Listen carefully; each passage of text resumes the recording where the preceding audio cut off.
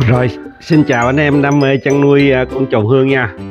Chào mừng anh em quay lại với cái kênh à, trồn hương thường hóa của mình. Trại trồn hương thường hóa của mình ở ấp chợ xã Phú Túc, huyện Định Quán, tỉnh Đồng Nai nha. À, Thì hôm nay á, mình quay cái clip này cũng tâm sự với anh em là à, có một câu chuyện Có một người nuôi à, coi như là mới mua là 20 con trồn Trồn hương này nè.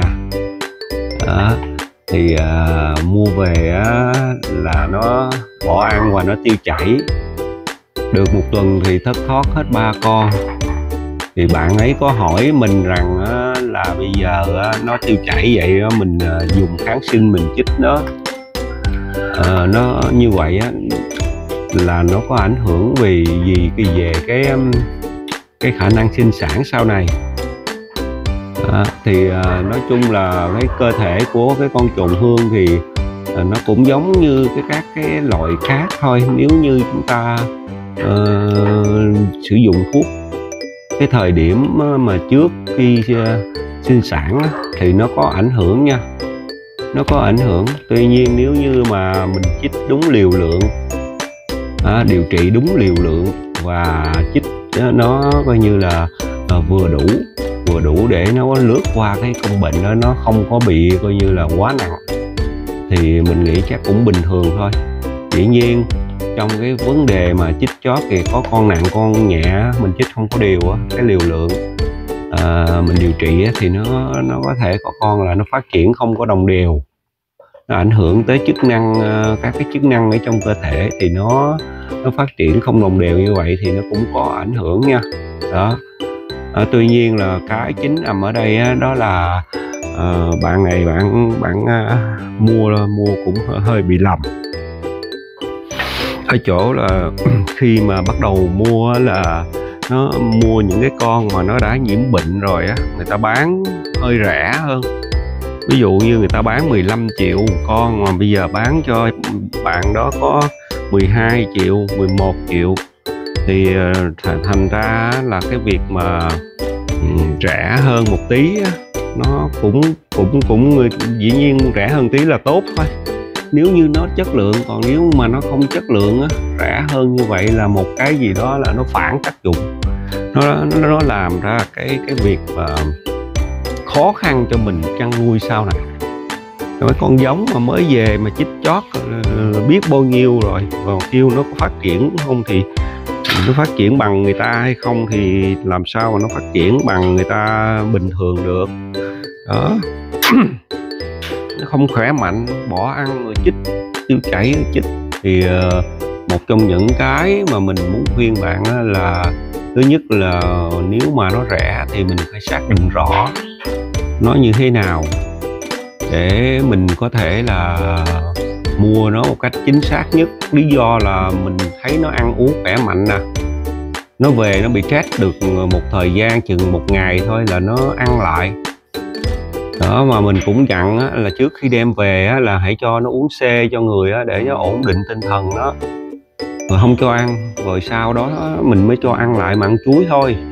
Chứ không ăn uh, coi như là là bình thường giống như là là là là, là các cái bữa chính được để cho cơ thể nó thích nghi với là cái cái môi trường môi trường mới đó. Thứ nhất là nhiệt độ, rồi thứ hai là là là ánh sáng nè, rồi cái không gian mới nữa. Nó dễ bị chết lắm cái con này là cái loại mà nó là gọi là hoang dã mà. Nó chưa được thuần giống như chó mèo, cho nên là nhiều lúc đó nó nó ảnh hưởng tới cái tâm lý của nó rất là nhiều nếu như ai nuôi nhiều ai nuôi lâu rồi sẽ biết cái con này nó ảnh hưởng tâm lý lắm. Nó dễ bị chết lắm mà nó chết cái là nó bỏ ăn. Đó. rồi bỏ ăn như vậy là, là, là, là nó ảnh hưởng tới cái cơ thể của nó.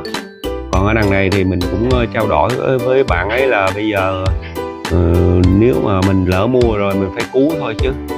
Bây giờ biết làm sao nó đã hao hụt rồi. Phải chịu chịu chịu đựng thôi.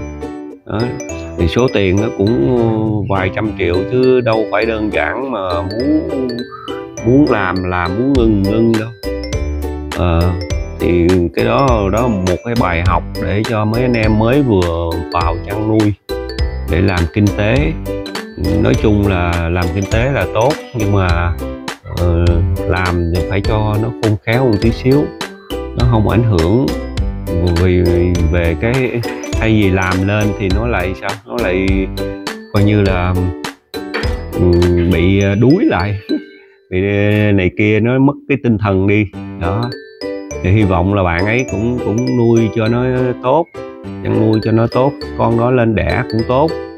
Chứ giờ mình cũng không biết ờ, tư vấn như nào mình cứ tư vấn rõ vậy thôi.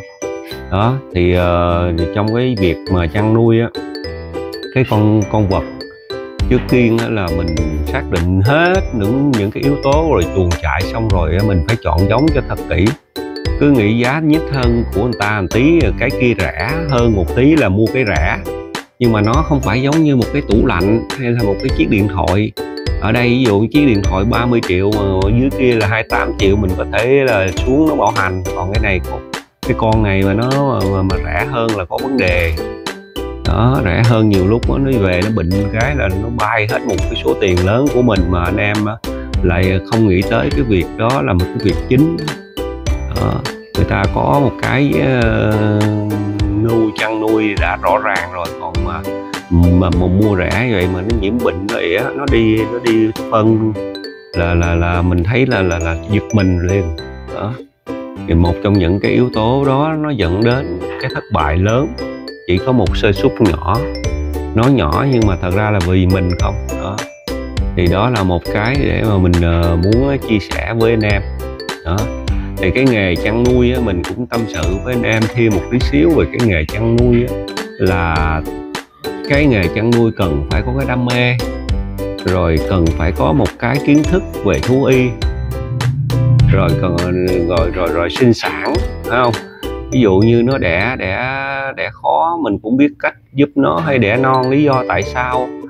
Đó, hay là đẻ bị sảy thai lý do vì vì sao. Mình phải đọc sách mình nghiên cứu để ừ, có gì để mình ứng phó được cho chính mình thôi chứ còn không cần phải ai hết. Đó nhưng mà khi thành quả có được rồi đó là mình mới rút kinh nghiệm từ từ nữa.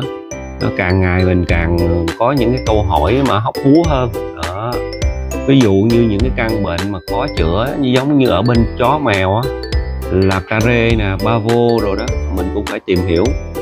À, nhưng mà nếu mà mình tìm hiểu kỹ thì mình mình à, phòng ngừa nó trước chứ đừng để xảy ra nha. Mình thấy là nếu phòng ngừa được á, là nó đỡ lắm.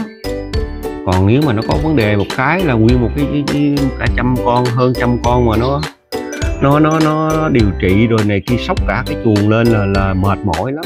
Mình không có thời gian rảnh nữa đâu chứ đừng nói chuyện mà, mà, mà, mà làm cái việc này việc kia.